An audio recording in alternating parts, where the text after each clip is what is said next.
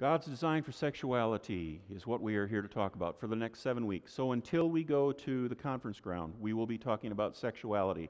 First three weeks are going to be the uh, most contentious because those are the LGBT issue, all right? But remember, take the whole series. Can't just listen to one, go home angry, and then send me an email, okay? Why are we talking about sexuality? Well, because all scripture is God breathed and useful for teaching, rebuking, correcting, and training in righteousness, so that for the purpose of us being equipped for every good work. There's an issue in our culture that we cannot ignore because, in ignoring it and saying that Scripture doesn't say anything about it, we're not being equipped to deal with it. We want to be able to bring the good news to everyone, I hope. And to do that, we need to study and be prepared and equipped. And that's what we're doing in looking at the word and sexuality. But it's very important that we understand, and, and one of the most important things in the whole issue of LGBT, of the, the homosexuality, and what the Bible says about it, is that we have to understand that interpretation of Scripture is an important thing. Can I make it say what I want it to say? Well, no, not ethically. But there are people who disagree on the interpretation of Scripture. So let me just very quickly cover how it is we interpret Scripture in a healthy, God honoring way. The fact is that there are multiple components in understanding Scripture. Reason matters. If you're unreasonable and you say that things that are contradictory make sense, th- then you're being unreasonable. That doesn't work that way. Can't take a scripture that says one thing and a scripture that says another thing and try to prove that somehow they're compatible. It doesn't work that way.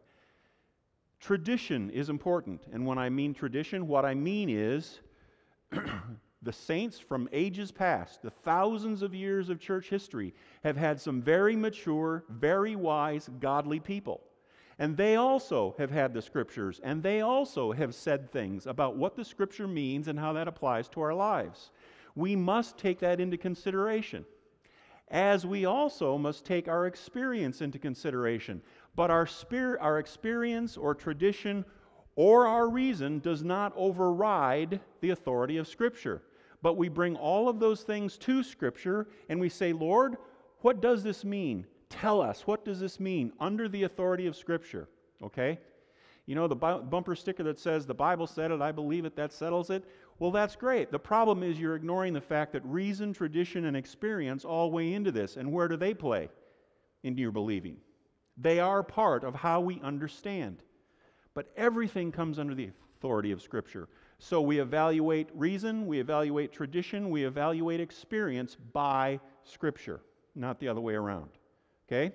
And that's what we are doing today. That is the approach we take, just so you know. Why are we talking about sexuality, specifically lesbian, gay, bisexual, and transgender issues? Well, very simply, this is a cultural reality. It really is. Uh, at the age of 19, I had an abrupt introduction to the issue that not everyone was from southern Minnesota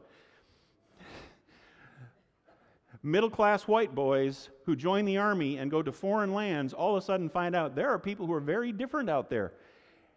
I didn't know it, didn't realize it until I was 19, and then all of a sudden it's like, whoa, my eyes went, whoa. Okay? Look around us, read the papers, listen to what's happening, our political campaigns. LGBT is an issue. And as much as we would like to say it shouldn't be an issue or we don't want it to be an issue, it is. Now, the question is are we going to take the gospel to everyone or only the people that we're comfortable with?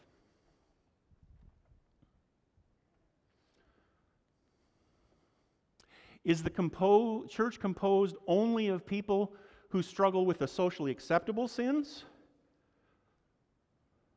Or is the church composed of all sinners?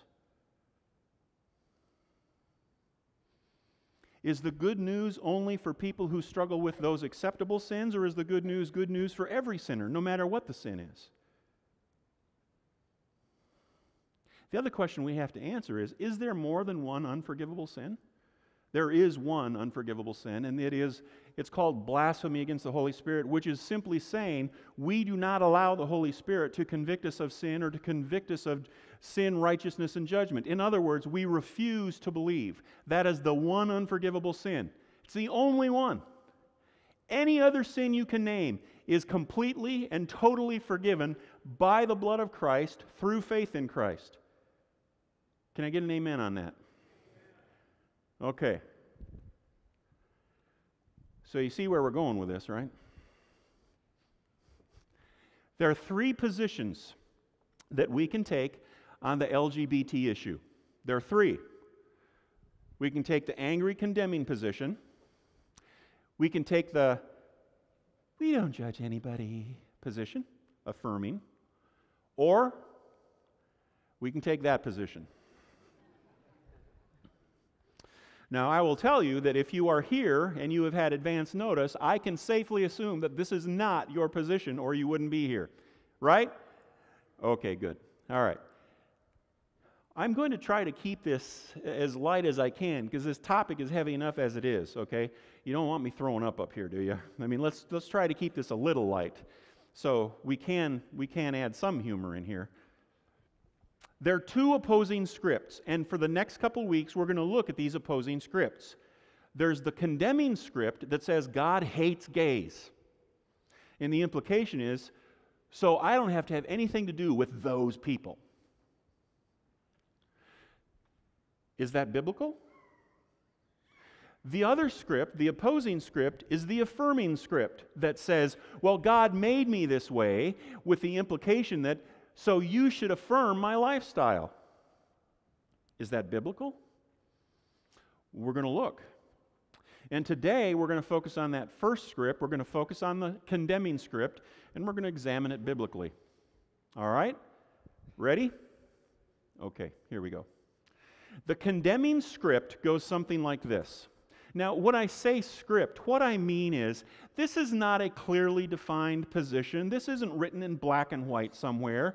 This is the script that goes through our minds if we tend to hold the position of God hates gays and I don't need anything to do with them. It's, it's more of an unconscious, unstated, unwritten thing that goes through our minds and our hearts and our souls. And so there are many variations, but this is the generic, basic core of the script, which basically says well, the Bible teaches that homosexuality is an abomination. And when we use the word abomination, read that to mean it is the worst possible thing a person can do before God. It's the greatest offense that people can give. And it's a perversion. Abomination, perversion, Perversion means it's a significant departure from God's design. And we tend to quote Leviticus 18:22. And I'm quoting you KJV, the King James Version, specifically because that's where the word abomination get, gets used, comes from. 1822, Thou shalt not lie with mankind as with womankind, it is abomination. And then in Leviticus 2013, also in the King James, if a man also lie with mankind, as he lieth with a woman, both of them have committed an abomination. They shall surely be put to death, their blood shall be upon them. So the script goes like this Well, because it is such an abomination, the worst possible thing anyone could ever do before God, they have brought it upon themselves that they are going to die and it's their own fault. The condemning script also goes on to say basically this the Bible teaches because it is an abomination that um, we, we, have, um,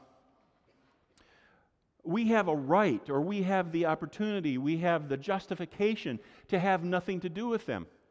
And we go to 1 Corinthians 6. Do you not know that wrongdoers will not inherit the kingdom of God? Do not be deceived. And how we read this is this Do not be deceived. Men who have sex with men will never inherit the kingdom of God. You'll understand what I mean when we come back. Therefore, because of Leviticus. Therefore, because of 1 Corinthians 6. Therefore, God hates homosexuals. God hates gays. How do we know? We'll look at Romans. Romans even says it. Because of this, God gave them over to shameful lusts. Well, that's got to be talking about homosexuality, right? Even their women exchanged natural relations for unnatural ones. In the same way, the men also abandoned natural relations with women and were inflamed with lust for one another. Men committed shameful acts with other men and received in themselves the due penalty for their error. In other words, they bring it upon themselves. It's their own fault. The due error, due penalty for their error.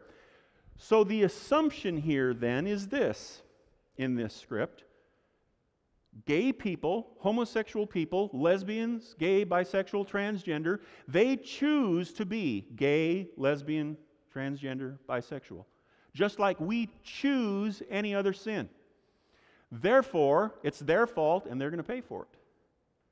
Therefore, I don't have to have anything to do with gay, lesbian people unless they change completely, unless they choose to be totally different.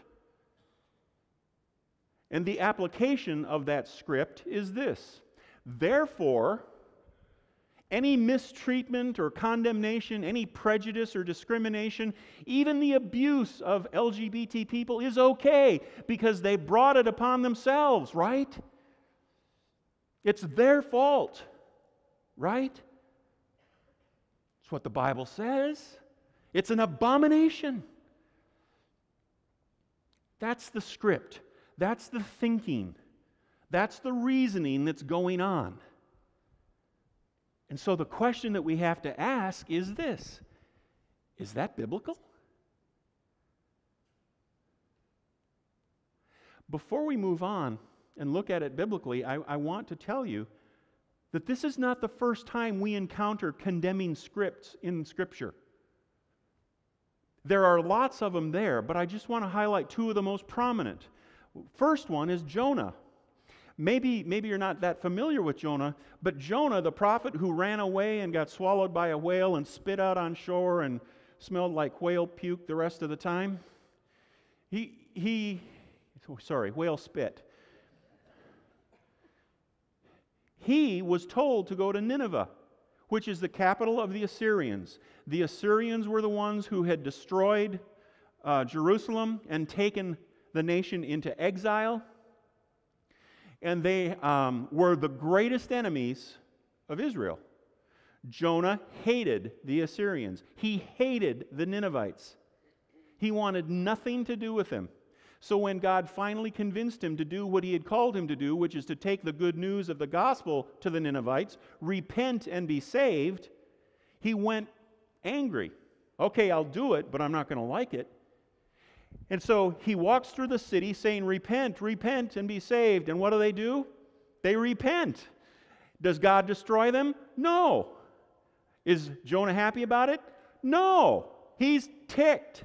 He wanted God to wipe them out. But he knew in the back of his mind, as he went up and sat on a little hill underneath this plant that sprouts up to shade him from the sun, he knew that God was gracious and merciful, and he was angry about it. And the plant withers, and Jonah gets all upset. And God says, You're more concerned about a plant than you are about these thousands and thousands of lives. That's a condemning script. He wanted them dead. He didn't like them, wanted nothing to do with them. He wanted them dead. The elder brother in the account of the prodigal son, condemning script. The younger son runs off, takes the father's inheritance, squanders it with prostitutes and all kinds of wild living, comes back, bows at his father's feet or tries to, and says, Father, I don't deserve to be your son. He says, Stand up, puts a ring on his finger, robe on him, accepts him back, fully gracious and merciful. Is the elder brother happy that his brother is back? No, he's angry. The father throws a party for his son, kills the fattened calf, and is excited because his son that was dead has come back and is now alive. Is the elder brother happy about that? No. Does he join the party? No. He wants nothing to do with his brother who was dead and is now alive. He wants nothing to do with someone being saved from their sins. And not only that, he's angry at the father for treating his son with such mercy. So, condemning scripts are nothing new. They're everywhere in Scripture, and these are two of the most prominent ones. And I'll tell you that the condemning script does exist when it comes to LGBT issues in the church today. Is it biblical? Well, let's look. So, okay, we'll take it point by point. Is homosexuality an abomination? Yeah, it is, but the abomination word is very inflammatory. The, the translation of that Hebrew word, actually, more accurately, is it's detestable. It is detestable to God, meaning it's offensive, it's vile, it's repulsive. We have to be careful to realize that certain words carry great emotional weight with us. And because the King James uses the abomination and the people who tend to use the condemning script use abomination, it carries huge weight. It isn't intended to communicate that that's the worst possible thing you can do before God.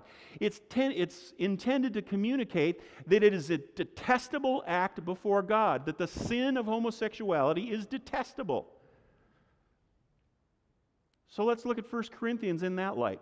If we're going to read it in the biblical light, then we have to understand this. Do you not know that wrongdoers, those who commit detestable acts, will not inherit the kingdom of God? Do not be deceived. And here's how it's really read Neither the sexually immoral, which is not homosexuality, that's sexual immorality, nor idolaters, nor adulterers, another form of sexual immorality, nor men who have sex with men, homosexuality, nor thieves, nor the greedy, nor drunkards, nor slanderers, nor swindlers will inherit the kingdom of God. Now, I will tell you that in the Greek grammar, there is no emphasis on men who have sex with men. It is just another one of the sins that will keep you from inheriting the kingdom of God. And every sin in that list is equal.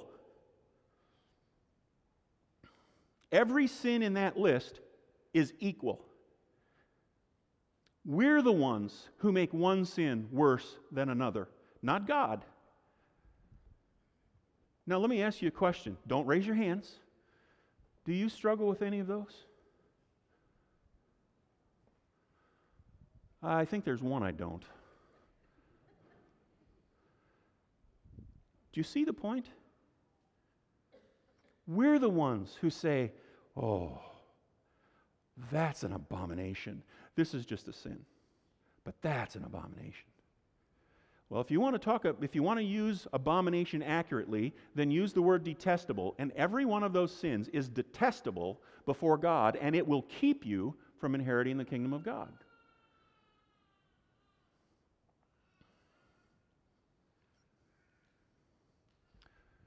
We often assume, you see, that the attitudes that we grew up with are the norm. We, we've heard something from other Christians. Maybe we watch a certain channel on television or listen to a specific teacher and they're very negative about certain things. But the negative and the condemning attitude toward homosexuals originates primarily from our deeply held cultural assumptions, from our prejudices, our fears, our misconceptions, rather than from the Bible or Christian teaching because it really doesn't take that much time in the scriptures to figure out that homosexual, homosexuality is detestable. Yes, absolutely it is. But so is idolatry, so is sexual immorality, adultery, slander, and many other things that we don't struggle with, that we all struggle with. You see? Yeah, absolutely but it's neither higher on the list or lower on the list. They're detestable before God. And the reality is this if we think that we are better or more holy than those who struggle with a particular sin, those sinners, then we ourselves are guilty of the sin of self righteousness. then we're sinning in that attitude. In Luke 18, there's the, there's the story of the, the Pharisee and the tax collector. They're praying. The tax collector raises his hands and looks up at God and said, Oh God, I'm so thankful that I'm not like him because I give 10% of everything. I am so holy. I am so not there. And the tax collector can't even look up to heaven and says, Oh Lord, have mercy on me, a sinner. And the answer, uh, the, the end of that account says, Which one of those two walked away justified before God?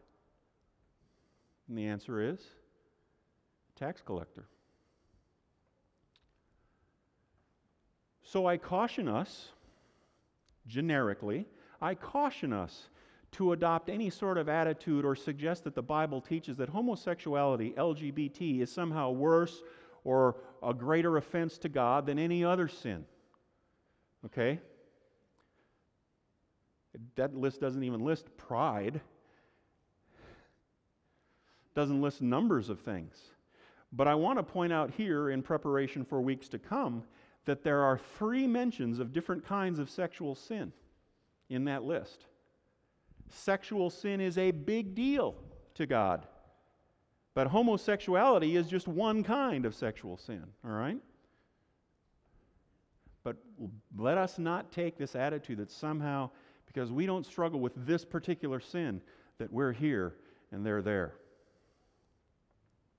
Homosexuality is a radical departure from God's design. It is. It is a perversion. That's the definition of perversion. When we talk about perverting justice, what it means is justice has not been accomplished, it was derailed. It isn't the way it was supposed to be. Okay? So let's use perversion correctly. It is a perversion. It also includes, perversions also include the sexually immoral, idolaters, adulterers, men who have sex with men, thieves, greedy, drunkards, slanderers, swindlers. Those are also perversions. The truth is this God hates the behavior. God hates the behavior. He hates it when people slander. He hates it when people swindle. He hates it when people commit adultery. He hates it when people are greedy. He hates it when men have sex with men. He hates it when people are idolatrous. To suggest somehow that this passage or any other passage is saying that homosexuality, LGBT, is worse and deserves greater condemnation than my sin is self righteousness. God hates the behavior because continually, key word, continually living in that radical departure from God's design is contrary to God's desire for us. And it will ultimately, if we continually live in a lifestyle that is contrary to God's design, we will not inherit the kingdom of God. Why? Because God has designed us, God made us, and He has designed us with loving and best intentions for humanity. Do we always find that? No, we don't. There are a lot of people who don't. They refuse to suggest, they refuse to admit that God has designed us. And we therefore have an accountability before Him to live a certain way. Therefore, God does not hate gays. He hates behaviors any more than God hates slanderers, thieves, adulterers, idolaters. We say, well, yeah, you're talking about hate the sin, love the sinner. Well, yeah, that is what I'm talking about. Well, that's really hard to do. Yeah, it is for us because we're human. But God is God. We are not. God has the full capacity to do that. He has the full capacity to be fully wrathful and fully righteous, fully merciful and fully loving at the same time. We don't. Here's a case where we cannot project onto God our abilities, our attitudes, our limitations. God is God, we are not. This is a very important thing to grasp right now. God does not hate the person, He hates the thing that has become warped, shrunken, twisted in them. God hates gays is a slogan that is used by hate groups. It does not come from the Bible. It is not consistent with biblical teaching. And I'm giving you some references there. Please do take a look if you're interested. I also will have some handouts if you're interested that have all the notes, but they'll be on, on the web. So if you can wait a couple days, please wait for them so we don't kill so many trees. The fact is, God loves lesbians, gays, bisexual, transgender people in the same way that He loves slanderers, adulterers, even murderers. God loves Muslims. God loves Hindus. God loves, yes, He does. Is that hard to hear? God is God. We are not. We can't project our attitudes, expectations, and standards onto God. God desires that all people would come to salvation in Jesus Christ. Do you believe that? So then, let me give you one application here. If we really believe that, then the very next time we have an opportunity to talk, interact, even be around someone that we believe is lesbian, gay, bisexual, transgender, try telling yourself God wants this person to come to salvation just as much, just as much as He wanted me to come to salvation. See if that changes your attitude. So, do people choose to be LGBT? Well, we're going to talk more about this. I will, I will talk more about this next week. But basically, I'm going to give you the quick outline now, and we'll talk more about it. Is it nature or nurture? Is it genetic or is it environment? Here's where the big argument is right now. Well, it's all, it's nature. God made me this way. No, it's nurture. God didn't make you that way. You were taught to be that way. Well, the reality is, according to Dr. Yarhouse, who is kind of the leading uh, psychiatrist, psychologist on this, the data is very inconclusive on either side. It's inconclusive. They can't prove it one way or the other. We don't know if it's nature. We don't know if it's nurture. All of the studies they're doing, they can't prove it one way or the other. Inconclusive. And the reality is, more than likely, it is a combination of factors. We have to be really careful not to fall into the trap of onlyism, meaning it's only one factor. A person is gay because or a person is bisexual because. No, no, no. Very few things in this life are a result of only one factor. Most things are a result of multiple factors, and the same is true for LGBT. Most people are affected by multiple factors. You were, I am, same is probably true for LGBT. So, we should use language that's more accurate in this. And, and I'm going to introduce you to a language right now that we're going to use through the rest of this series. And what I want to help you understand is that homosexuality, in the way that we use it, is referring to homosexual acts. But when we talk about people who are struggling with that, I want to introduce you to three different things. I want to say same sex attraction. There is same sex attraction among people. And what that means is that they have had an experience of feelings or, or something in their developmental years or after that they have been attracted to another person of the same gender. Then there is same sex orientation. And what that means is that over the course of time, they have had enough instances of a same sex attraction that they are starting to refer to themselves as being oriented toward the same sex. And then there is also the gay identity. And what that means is that they have, through a course of discovery, chosen to self identify as lesbian, gay, bisexual, transgender. But there is no either is or isn't.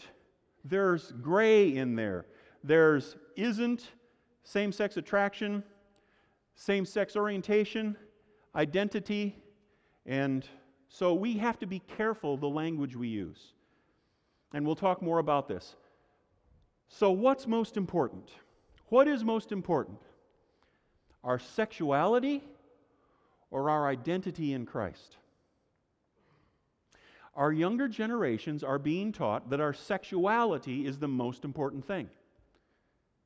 They are. Our younger generations are being taught explicitly, implicitly, consciously, unconsciously that their sexuality is the most important thing in their life.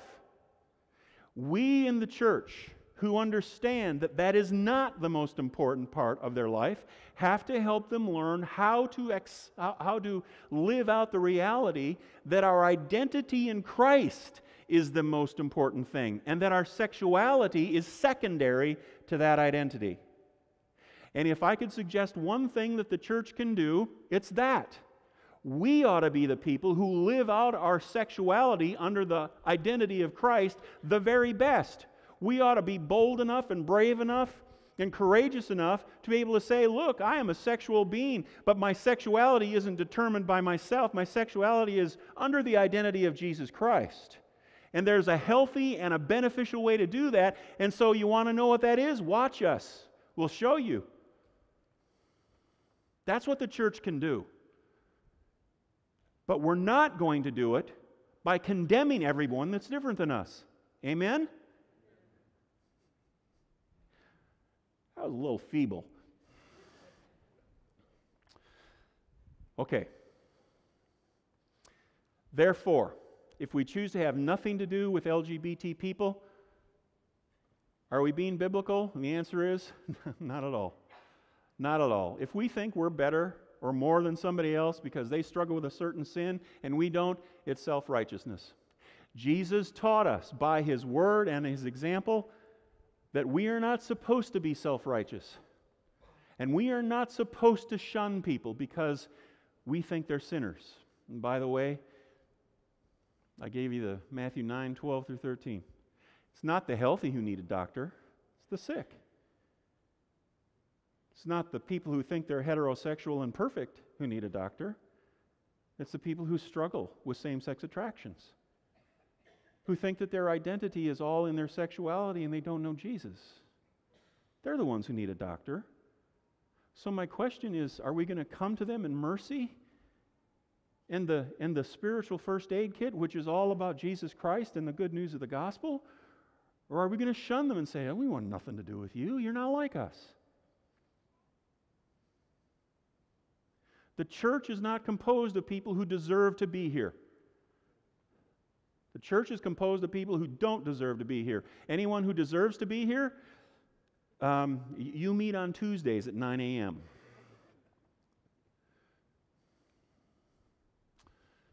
So, is the application of that condemning script accurate? That mistreatment, condemnation, prejudice, discrimination is okay? No, it is not okay. It is not okay. It's not okay to sit back and say, oh, you can beat the crap out of some LGBT person because they're different than we are. No, it's not okay. It's not okay to sit back and say, well, it doesn't matter if you want to shun them, ignore them, condemn them, if you want to be prejudiced against them, if you want to treat them differently or somehow worse because they struggle with that and you don't. It's not okay. It is not okay. It's not okay to promote that kind of behavior. It's not okay to condone that kind of behavior. It is unchristlike. Remember the Good Samaritan? What do we learn from the Good Samaritan if not that very point? The Good Samaritan, the person who had every reason not to stop for a Jew, had every reason to have nothing to do with him, to shun him. The Jew probably would have walked by him, probably would have ignored him if it had been the Samaritan. The Samaritan stops and gives every, every bit of aid necessary and saved the life of this guy who'd been beaten and bloodied. Now, folks, I'm going to say this in the gentlest way I can. There is a culture of people out there known as the LGBT community. They are beaten, they are bloodied, They are prejudiced against, they are mistreated, and unfortunately, by the Christian church, they are shunned because they struggle with a certain issue that we maybe don't. Does that mean we can walk by them and ignore their hurts and pains and struggles? I hope not.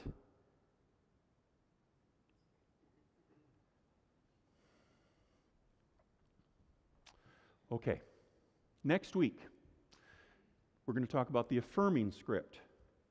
If you're upset with me now, wait until next week. And we're going to look at that script. Is it biblical? Is it reasonable? So if you still have questions, or if I have gotten you fired up enough that you want to come and talk about this, activity rooms three and four, or use the website to ask an anonymous question, and we'll do our best. All right?